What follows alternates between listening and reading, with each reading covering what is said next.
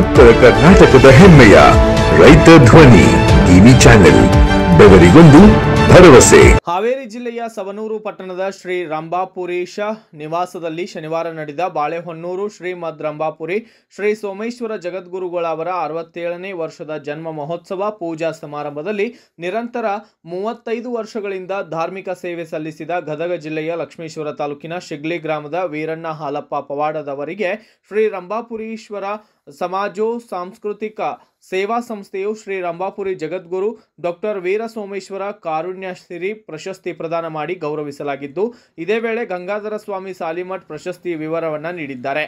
ಹುರಳಿ ಕುಪ್ಪಿಯ ವೀರಯ್ಯ ಹಿರೇಮಠ್ ಪ್ರಶಸ್ತಿ ವಾಚನವನ್ನ ಮಾಡಿದ್ದಾರೆ.